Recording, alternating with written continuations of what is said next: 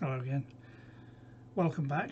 This is part three of a five video um, set on glass in its various aspects. Glass is an absolutely wonderful material, uh, quite ubiquitous in fact in modern life. In the first two videos we've looked a little bit about uh, into the science of glass, how it's made, um, what makes a glass a glass in fact and we focused on the arrangement of atoms within it.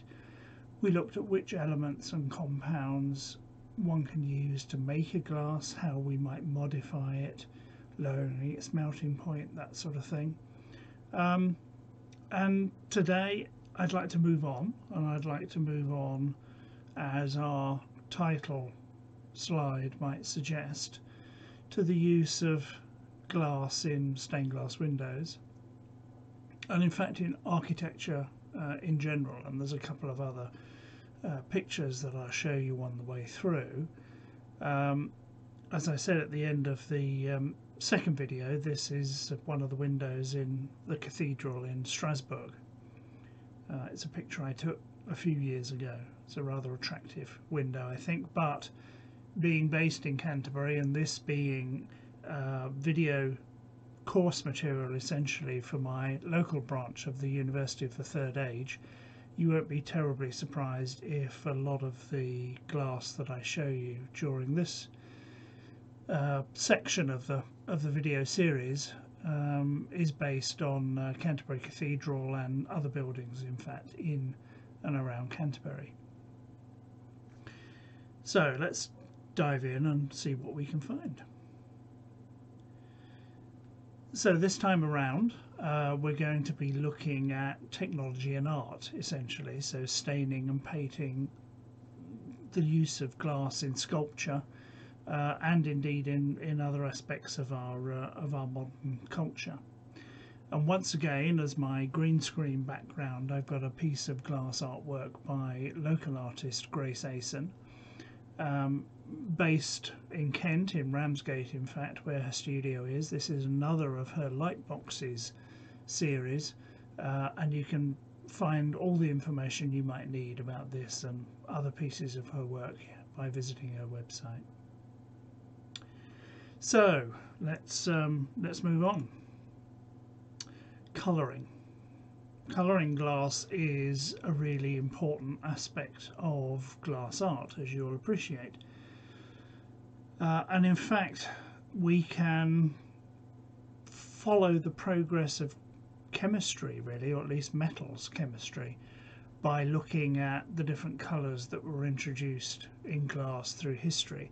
And the reason we can do that is that within a decade, in most most cases, of a metal oxide being isolated, so nickel oxide, copper oxide, whatever, uh, we'll find it popping up in a new colour of glass that's being used decoratively um, in a window somewhere or in glassware of, of other sorts. Uh, now these tables come from um, uh, Pilkington, the UK glass company, and it's just a list really of, of the metals from which different colours come there's a lot of information on here. It doesn't really matter. I'm going to show you some examples of these uh, as we um, as we progress. Um, but as you can see whatever metal we put in we end up with a different color. Some metals actually give the same sort of coloring as as some others. So for instance we can get a blue from cobalt and from copper and in fact from thulium if we wanted to. Uh, even some forms of iron, depending on its state, uh, can give us a blue coloured glass. There's another list I've got here. This was simply taken off uh, a website, the address, as in a lot of the material that I've sourced online uh, is shown on the screen there.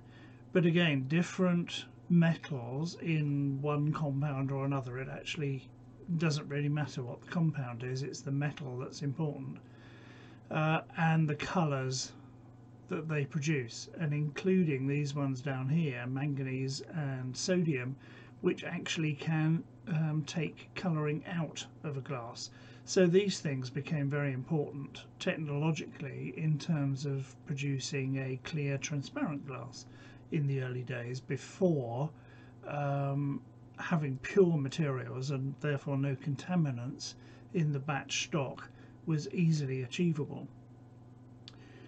But I think we should break off now and perhaps have a look at some examples uh, of this. So let's switch cameras and, and have a look at what we've got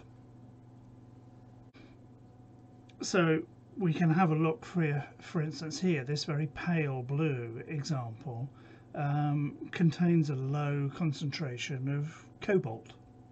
If we increase the cobalt concentration you can see we get a much richer color uh, a very dark blue. Um, don't worry about this um, dark circle in the middle. Uh, I have a confession to make at this point. I, um, I burnt the glass with an x-ray beam some years ago um, and that's where that dark colouring comes from. But you can see that we can tune the saturation of the colour simply by changing the concentration of metal uh, in our glass stock. If we add nickel then we get something slightly different. This is a sort of um, yellowy brown colour I suppose uh, it would seem here. Um, vanadium, another metal, this gives us a really lovely pale green uh, if we want a darker green, we can actually um, try a low concentration of iron, which is what this one is. If we increase the iron concentration, we actually get uh, we actually get this colour. Uh, it turns into um, or turns from, I should say, a pale greeny blue into a very dark, uh, deep and rich colour over here. The one next to it you'll notice x-ray damage again but this is a piece of glass um, that's added um, had selenium added to it and you'll see that it's a uh, at least I hope you can see it's a very delicate pink color um, I'm not sure that it helps if I hold it close to the camera or not uh, but if you can't see it please take my word for it um, we have a different shade of blue over here. This comes from putting copper in this glass. Now, the interesting thing is, and it's actually quite difficult to demonstrate here, I'm afraid, so my apologies in advance. But if we added both copper and iron to a glass, for instance, uh, we'd end up with a different colour again. Um, now, I'm not sure you can make it out uh, in this, uh, but it is a slightly different colour to either so we're adding two different metals into this mix, for instance.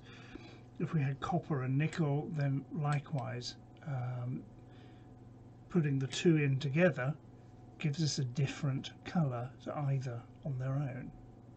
So we can play all sorts of tricks with adding metals to glass just to produce the colour. And obviously for um, uh, stained glass windows, for you know lots of architectural artistic glassware um, and even for coloured bottles and so on this is actually an extremely um, useful piece of knowledge to have and as I say the development of these colours followed pretty precisely the develop uh, development of um, the chemistry of metals um, through history so let's go back to our slides again and we'll take this a little bit further.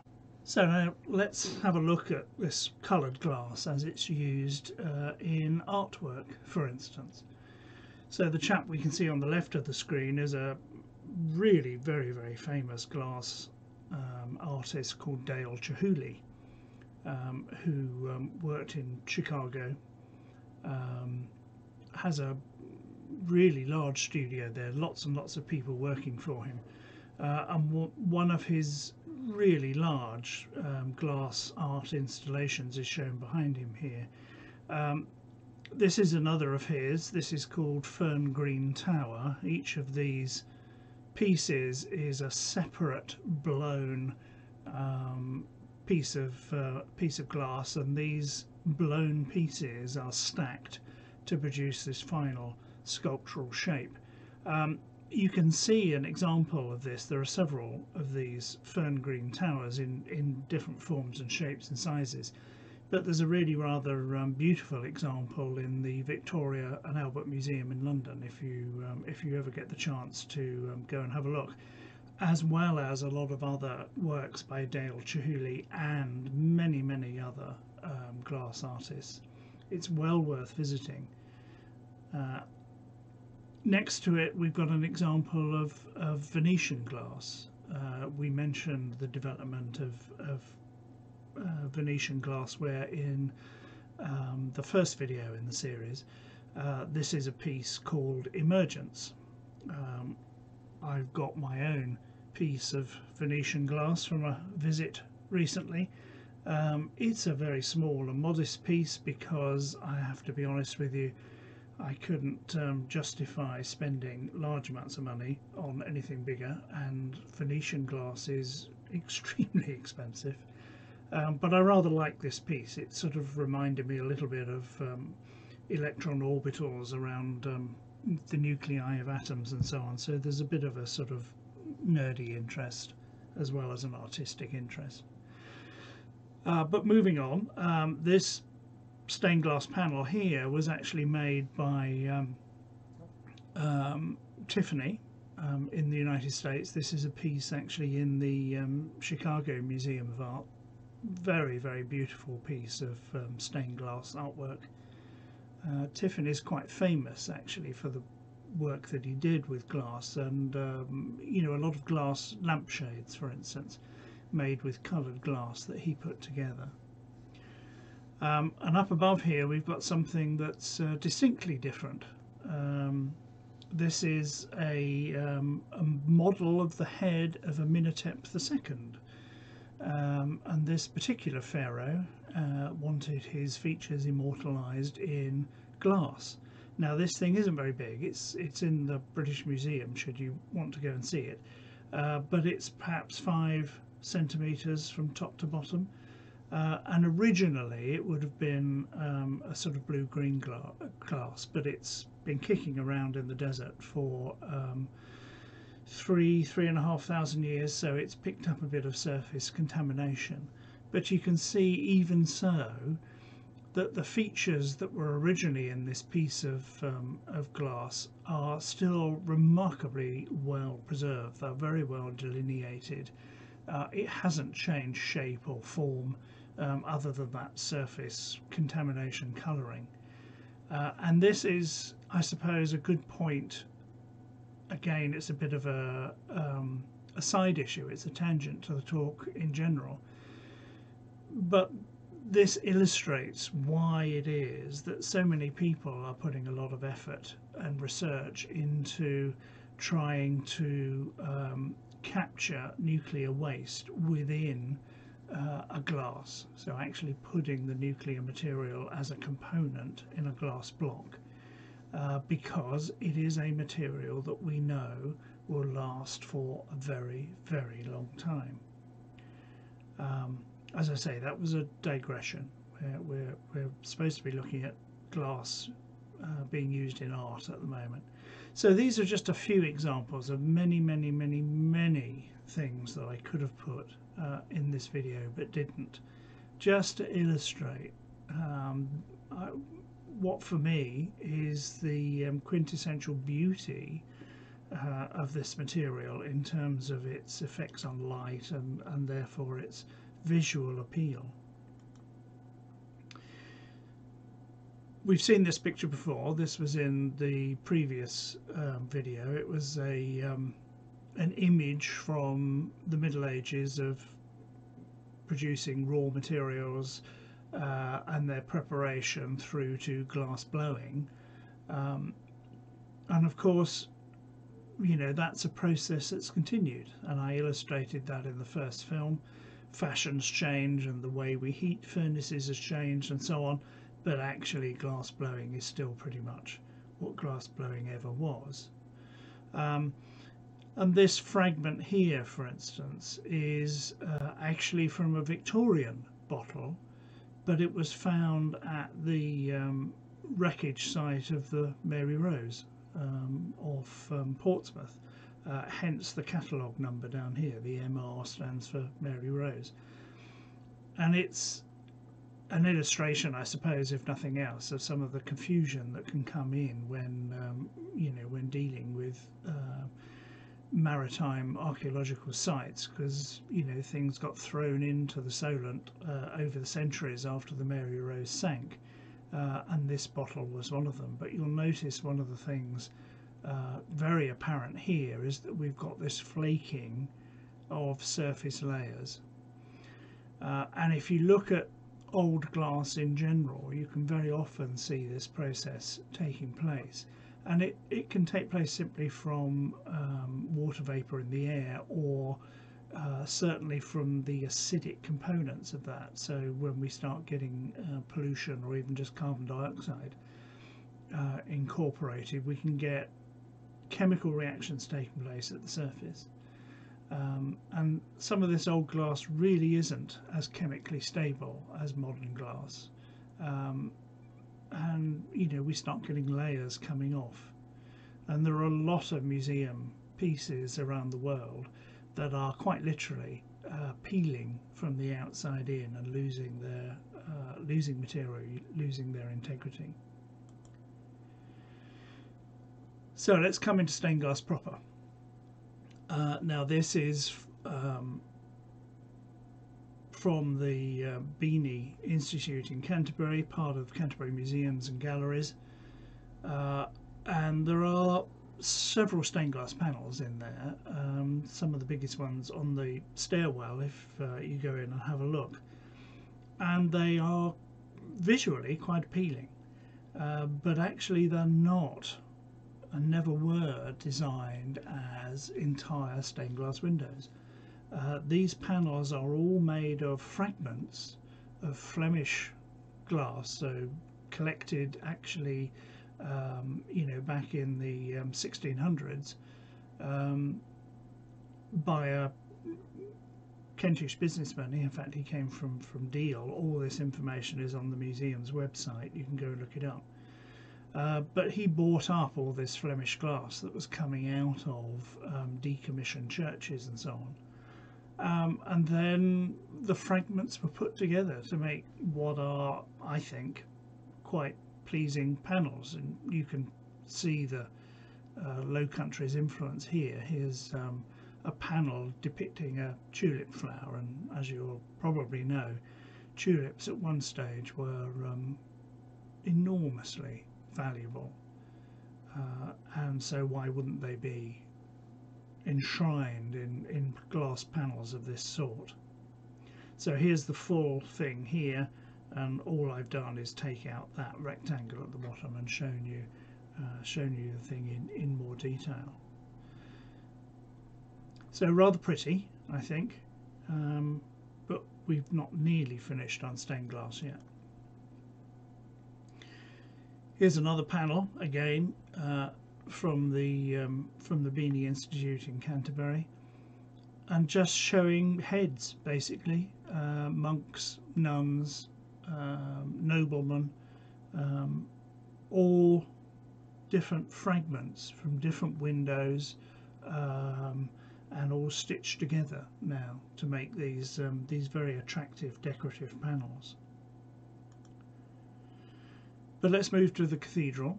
Um, this is the um, uh, one of the uh, great windows in the cathedral. I think this is the great north window. Um, but don't quote me on that. So view from the outside, view of the same thing from the inside. Uh, and you see the immediate difference, of course. I mean, from the outside, uh, there's really not a lot to see. Uh, you can pick out the um, the lead work in there uh, that's holding the panels together and you can see these cross pieces which are actually made of iron. These are the things that are holding uh, the whole thing together. Uh, this iron frame is um, referred to as the ferramenta and the um, stained glass panels are actually attached to that and they are uh, the uh, the ferramenta. They are what's used then to attach the whole thing into the masonry framework of the building. but come inside so we're now looking at light being transmitted through the glass and you can see immediately uh, the transformation and that we've got these astonishing colourful um, windows here which all tell a message all tell a story uh, if you know how to read it um, and not surprisingly uh, it will give you an indication of how the people of the time uh, were interpreting um, interpreting their faith. But let's have a look in uh, uh more detail. Uh, this is the I think the south oculus window, um, and it gives you a a scale, I suppose. I mean, this thing is is I don't know how high above the ground, but you really have to crane your neck to see this um, from um, the nave of the church below. But if I show you one of the panels of this window, this one here, in fact, uh, that's being lifted out for study and for conservation work uh, next to, you know, a British standard um, workman here, and you'll now not be surprised when I tell you that this window is is a full four meters uh, in diameter. It's absolutely huge, uh, and I've been privileged over the year uh, years to go um, up into the galleries and, and you know see these things close up. It really has been quite a privilege. Uh, but they've been measured, studied uh, in great detail over time because, of course, some of them go back to the Middle Ages and they require constant attention and um, uh, and repair. And this gives you a good view also, I think, of the ferramenta. There's an entire iron framework, look, that goes round each of the panels. And then even within that, uh, we get these iron bars that are actually holding the thing structurally and, and pinning it to the masonry around it. Um, and as it says down here, I'm immensely grateful to Leonie Seliger, who's the current head of the Cathedral Glass Studios.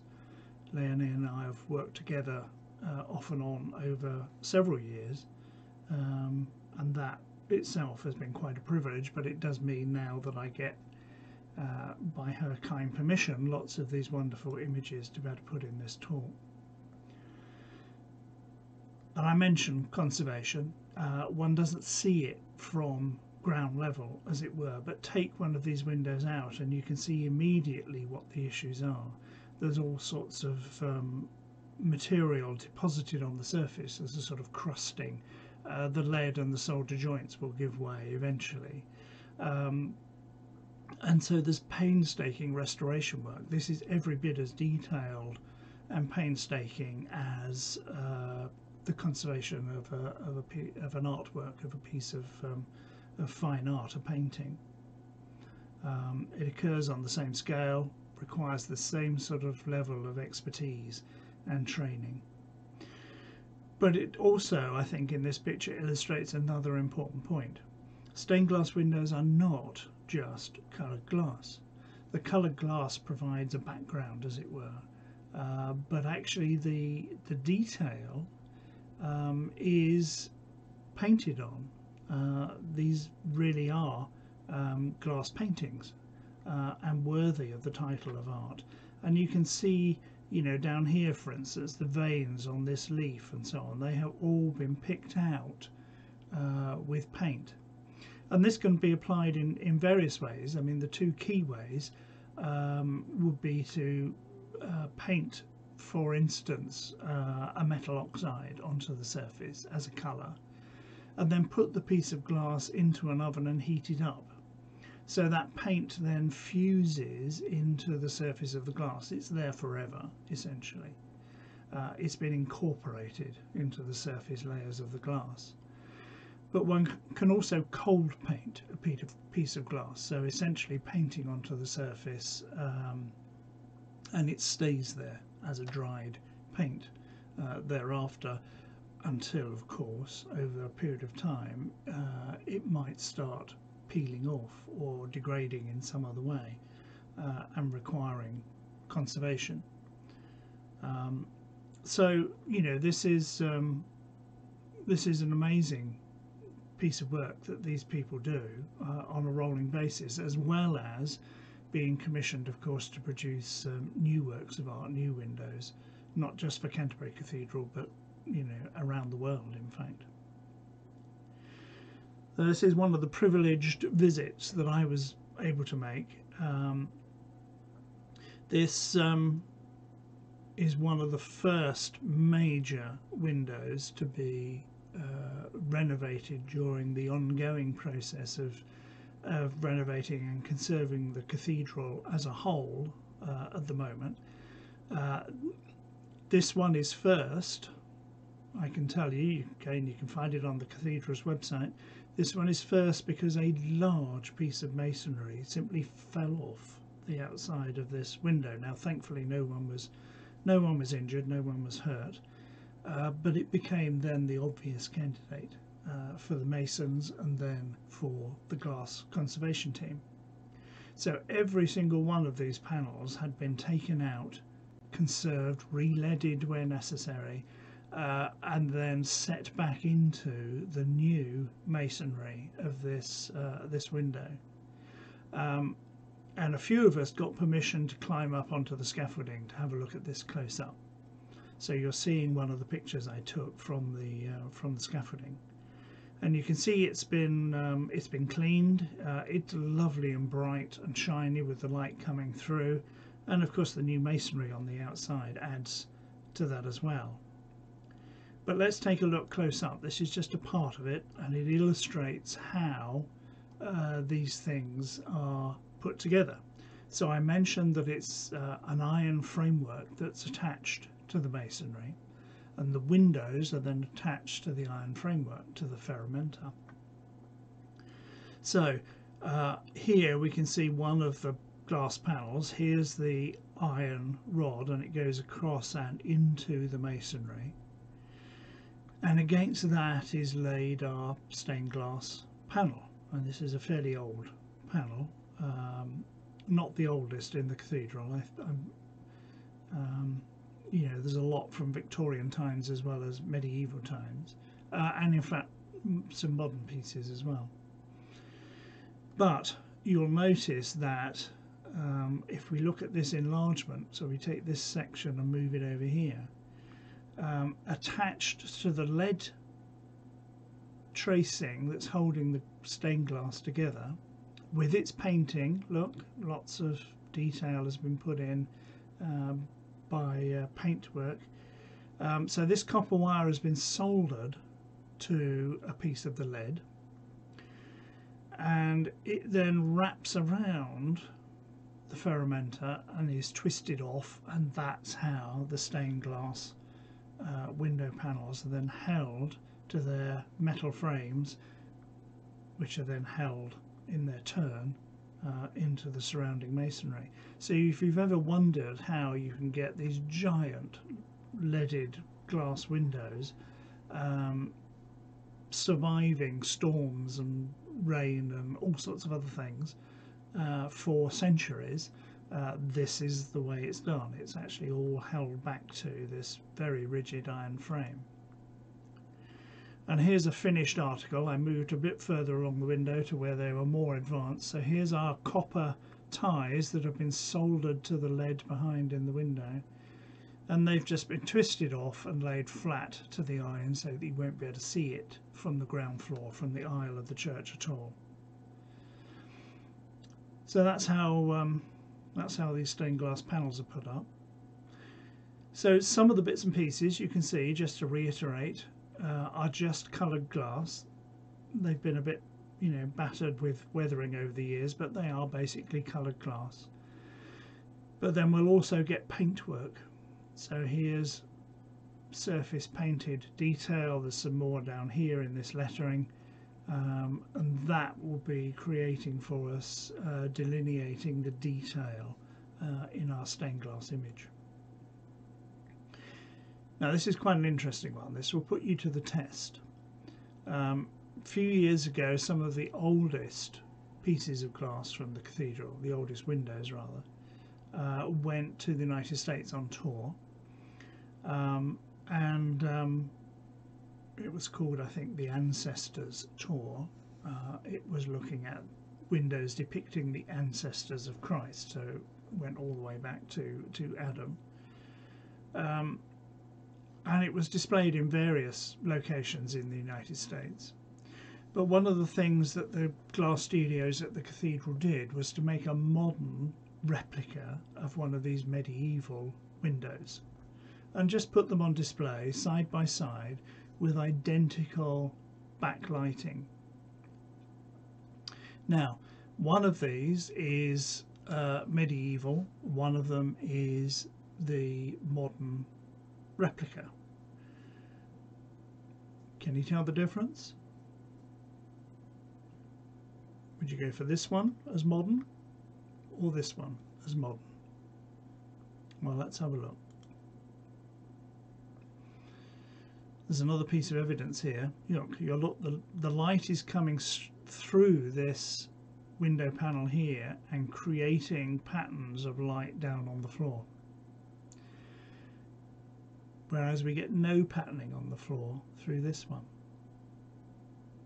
And yet this one looks brighter to look at it with its backlighting. The backlighting, remember, is identical in both cases. And this illustrates a really important point. This is the modern one. This is the up-to-date replica. And it's bright, clean glass sending through shafts of now coloured light. Whereas this one is medieval. It's got a lot of surface contamination. Its surface has been pitted and roughened. There are things from atmospheric pollution that have been deposited onto it that couldn't easily be cleaned off during restoration. And of course, one doesn't want to damage the article by getting aggressive with the cleaning. So what happens is that the light comes in from behind this one and the roughened and um, contaminated surface actually scatters the light out in all directions. So it doesn't come straight through and land on the floor in pretty patterns. It actually gets sprayed out in all directions. So we see this apparently really bright, colourful glass window um, instead of getting light down on the floor in the pattern. So a modern stained glass window will tend to throw coloured light down uh, to where the, the sunlight's heading. An old one won't. Um, and that's quite telling. So go back to the Middle Ages when the cathedral was young, uh, you know, in the um, 13th, 14th century, say, and we'd have seen something much more like this the cathedral inside would have been filled with patches of coloured light as the light came in through these stained glass windows. Whereas now we go in there, we don't see this stuff on the floor by and large. What we see is a very bright stained glass window. Um, that's a rather nice curiosity, I think. But we can show another example of that. This is one of the modern uh, stained glass windows uh, in the cathedral. Uh, here's um, Leonie um, here, the head of the studio, as I mentioned earlier, um, and Laura, one of the other people who work there. And you can see immediately that we've got these incredible shafts of, of coloured light coming in and impinging on the door, or on the wall, I beg your pardon. Um, and that's the sort of thing we'd have seen if we were back in the early days uh, of the cathedral with its first stained glass windows. There are new windows uh, going in all around the cathedral. Um, in fact, um, well, I'll leave you to decide uh, where these are. Um, it's, um, I beg your pardon, uh, it's fairly easy to tell, but have a trick, trip into Canterbury Cathedral and go hunting for these. I'll give you a hint. Uh, they're in the cloisters. Um, it's not a very big hint. You can pretty much see uh, that um, that this is a cloister that we're in, but this is really up to date, only a few years old um, glass art that's been put in there. And again, you can see um, although we've got a basic coloured glass as our background, we've got some incredibly detailed and extraordinarily executed um, painting going on on top of that glass. Um, it's amazing stuff. And that's what these windows look like from the outside. There's one, there's the other, nothing much at all. Again, we need that transmitted light to give us the effect. So here's uh, here's those windows windows again, um, and again you can see where I've sourced those pictures with uh, with permission, uh, and these were installed in 2018, so not very long ago. Go and have a look; they're well worth a visit. Uh, well, since I make no money out of this, I don't think this counts as advertising, but um, I was um, quite privileged to act as advisor to this um, young person's guide to um, stained glass windows in the cathedral, a book called Paintings in Light. It's, it's, a, it's a very readable book. Um, written by uh, my um, very good friend Martin Barr, uh, and here's Leonie again, the head of the Glass Studios, who was obviously instrumental in putting this thing together. All I did was provide a little bit of scientific advice. Stained glass is still the subject of a lot of research. There's a lot of activity still in trying to understand how the glass was made um, in the first place and how it's changed uh, over time. So this is work um, undertaken by a chap called Ian Freestone, who's um, got a research group at the University uh, University College London, and he's been looking, for instance, at um, copper in old glass, uh, and noticing that uh, the copper of, often isn't uniformly distributed. And one of the things that's happened, and, and this is fairly common it seems, uh, is that um, coloured glass will be reused. So it will be put into um, a furnace, remelted, mixed with other materials uh, in order to produce um, um glass for new windows. So it'll be recycled, in other words, and in that process, one can get all sorts of strange things happening uh, if it doesn't mix fully. Um, so we get all sorts of striations, for instance, in our coloured glass. Uh, actually, I think it adds to the interest uh, of stained glass windows to see this, but actually understanding it has required um, quite a lot of very sophisticated scientific research. Stained glass has been around, of course, uh, for a long time and still is being used. This is a, um, a piece of garden sculpture that um, involves using um, coloured glass and painted glass panels. I took this picture um, at um, uh, Wisley, the Royal Horticultural Society Gardens. Uh, they had an art exhibition up there a few years ago, uh, and there were quite a few pieces that involved using glassware. Um, but we can go way back. So, you know, this I think is Victorian. Uh, it's in the Sunderland Museum of Glass. Uh, well worth a visit if you get up there. Um, the National Museum of Glass is nearby, so you could have a, a double hit, as it were. But, you know, someone in the past wove and then tied a bow tie using glass fibres. Um, so essentially this is a, um, uh, a glass wool woven bow tie here. And there are more modern pieces. Um, this is a glass bubble dress, or a dress made of glass bubbles, I should say. Um, in deference to the safety of the model wearing this, uh, the glass uh, baubles were all, I think, coated in um, a polymer and a plastic before they were attached to the fabric to create this dress. But there we are. Um, glass can be used in um, in fashion as well as in art. And in architecture. And I've chosen a very um, silly example of this. This is um, uh, a screenshot taken from the computer game Minecraft, um, something my grandsons had to teach me to play. So, um, you know, here's my little avatar here, standing on a glass balcony, which sits out from the side of a very glass heavy uh, construction that I built for myself um, in our little world on uh, on a computer server. But of course, we know what glass looks like in architecture. Uh, you know, we've all got um, we've all got windows. So that's it. We've finished with video three. Thank you for watching.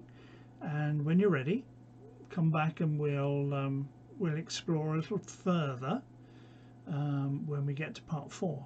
And included in that, we'll look at some use of um, glass in engineering, uh, for instance, and in aspects of technology. So I'll see you next time. Bye for now.